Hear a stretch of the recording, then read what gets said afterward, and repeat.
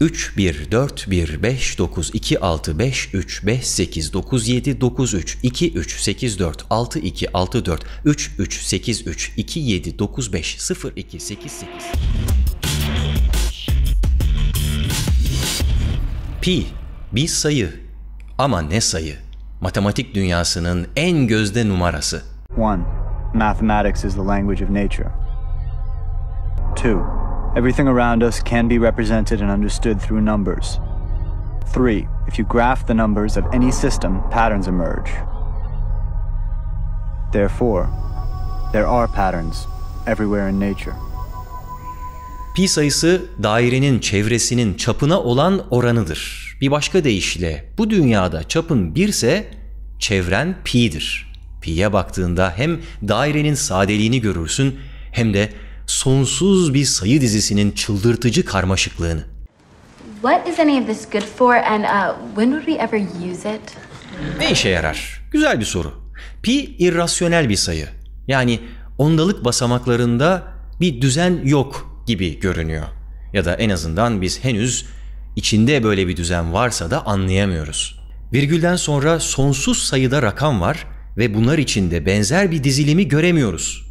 Sonsuza kadar giden ve kendini hiç tekrar etmeyen bir sayı. Böyle bir sayıyı uydurmaya kalk deseler uyduramazsınız.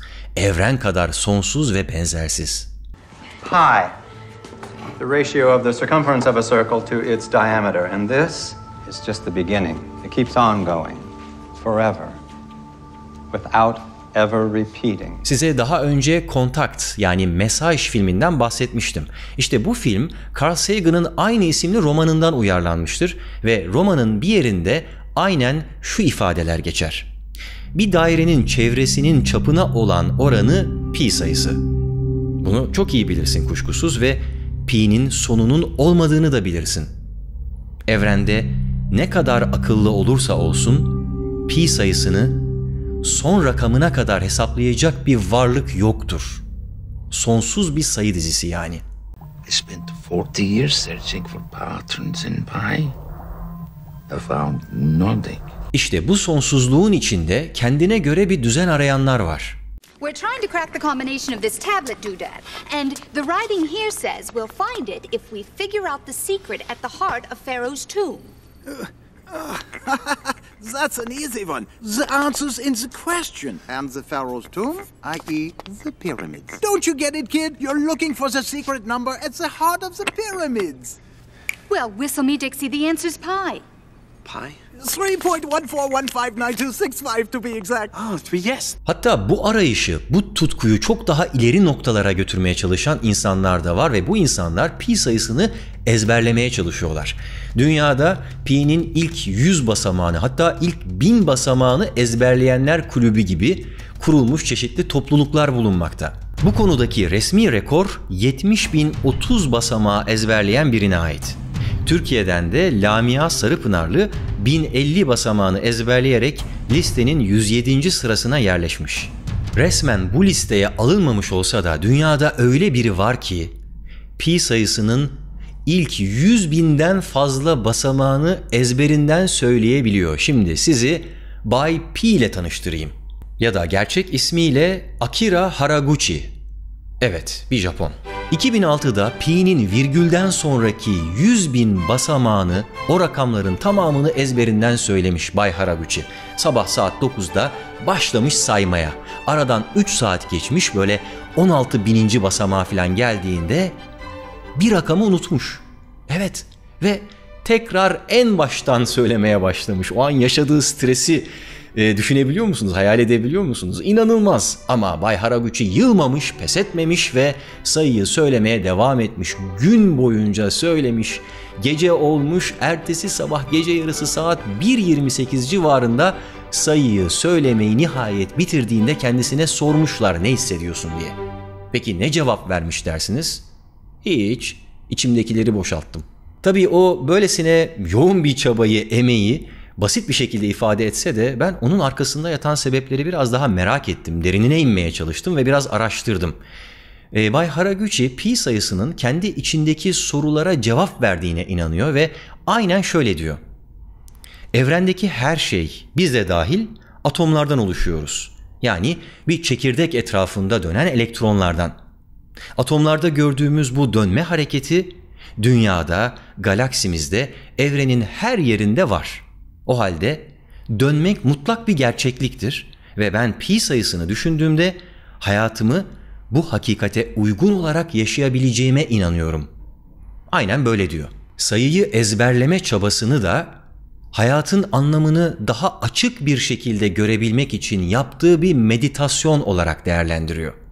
Peki iyi de nasıl ezberliyor?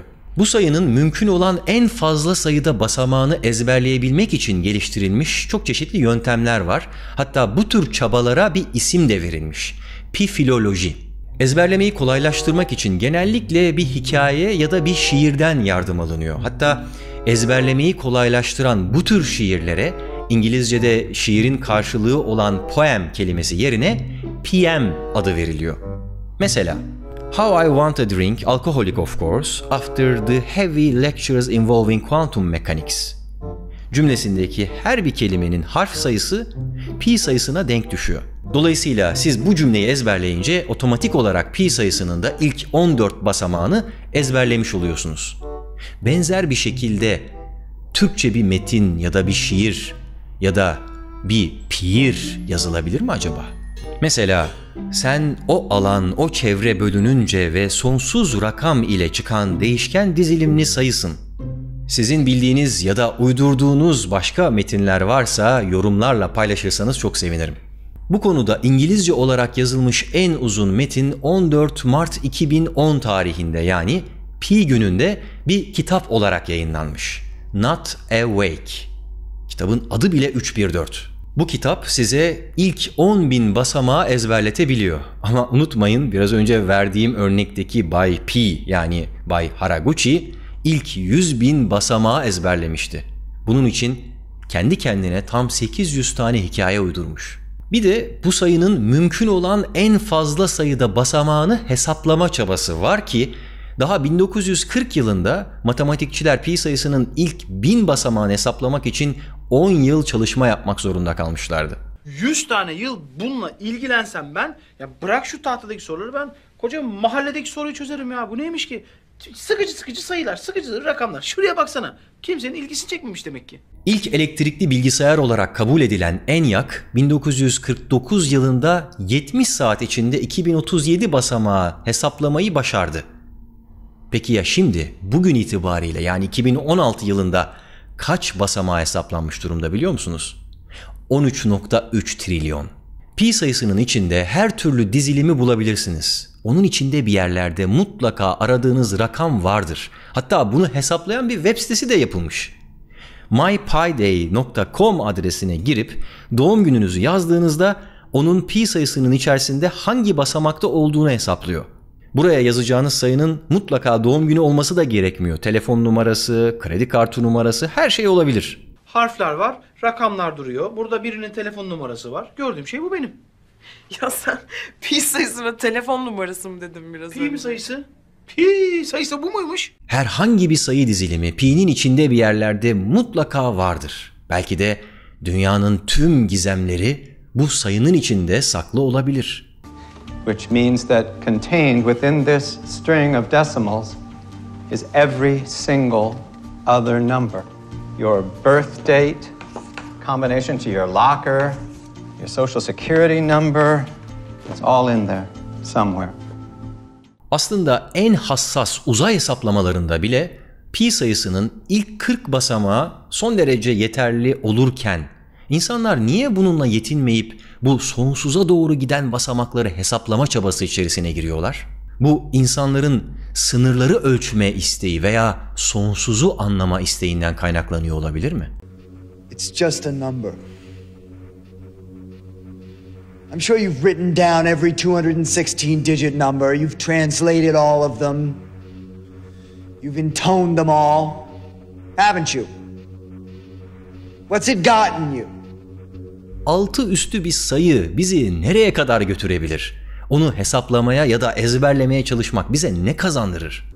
The number is nothing. It's the meaning, the syntax. It's, it's between the numbers. Rakamların arasında olan şey ne? Bunu keşfetmek mümkün mü? Pi'nin milyonlarca basamağını hesaplayan matematikçi David Chudnovsky'nin de dediği gibi Pi'yi keşfetmek, kainatı keşfetmek gibidir. And if you convert these decimals into letters, you would have every word that ever existed in every possible combination. The first syllable you spoke as a baby, the name of your latest crush, your entire life story from beginning to end, everything we ever say or do, all of the world's infinite possibilities rest within this one simple circle. Now, what you do with that information, what it's good for, well, that would be up to you. Carl Sagan'ın Mesaj adlı romanı şu ifadelerle biter. Daire evrenin bir amaçla yapıldığını söylüyordu. Hangi galakside olursan ol, bir dairenin çevresini çapıyla böler de yeteri kadar hassasiyetle ölçersen bir mucizeyle karşılaşırsın. Desimal noktanın kilometrelerce ötesine çizilmiş yeni bir daire. Daha ileride daha dolu mesajlar olacaktı. Neye benzediğin, neden yapıldığın ya da nereden geldiğin önemli değildi. Bu evrende yaşıyorsan ve matematik için az bir yeteneğin varsa er geç bulacaktın bunu. O buradaydı şimdiden. Her şeyin içindeydi. Onu bulmak için gezegeninden uzaklaşmana gerek yoktu. Uzayın dokusunda ve maddenin içinde büyük bir sanat eserinde olduğu gibi küçük harflerle ressamın imzası vardır.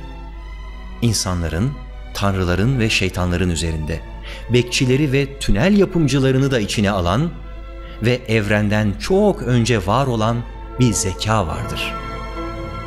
Daire kapanmıştı. Eli aradığını bulmuştu artık.